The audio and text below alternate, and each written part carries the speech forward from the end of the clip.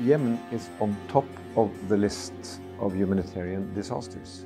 It's happening in the middle of a region of a lot of turmoil. So it's a combination on the one side of humanitarian suffering, and on the other side, some immense strategic geopolitical stakes involving outside parties, regional powers, meddling, participating, activating this conflict. There are internal dynamics in Yemen, but they are being magnified by powers in the region coming from the outside, fighting out to the last Yemenite.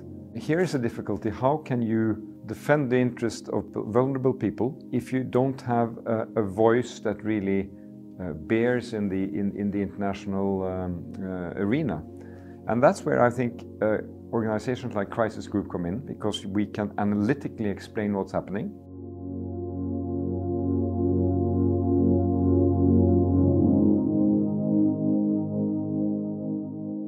Can appeal to uh, conscience of people when it, when it comes to the, uh, the, the, suffering and the humanitarian toll, but also geopolitical interests, hardcore security policy interests.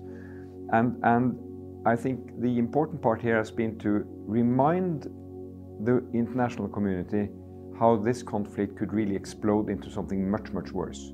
Crisis Group really had made an impact here on avoiding major military escalation around this harbor uh, town of Hodeida, uh, where there was an imminent attack, and what that could have led to. I think uh, we can study how we were able to make an impact there, how ICG leadership had access to key parties inside Yemen, but also outside Yemen. And that's not something you build easily. It's built on uh, 25 years of reputation.